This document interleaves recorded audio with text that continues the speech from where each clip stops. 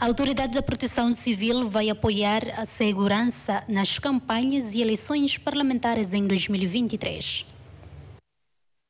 O presidente da Autoridade da Proteção Civil, Superintendente Ismael Babo, reuniu-se esta segunda-feira com os comandantes da Autoridade da Proteção Civil dos municípios.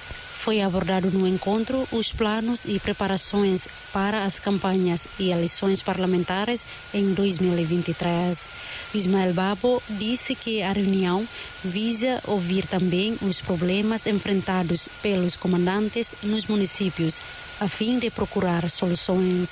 A Autoridade da Proteção Civil orientou já os comandantes municipais para apoiar os serviços da segurança caso haja alguns acidentes e incidentes nas eleições legislativas. Ismael Babo orientou por isso os comandantes para socializar as informações junto das populações em todo o território sobre o eclipse solar que vai acontecer em 20 de abril deste ano. Juvenal da Silva, RTTL.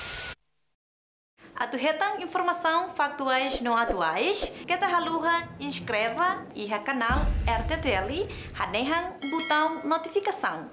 For comentário, no fahetutan ba mídia social Siraseluk.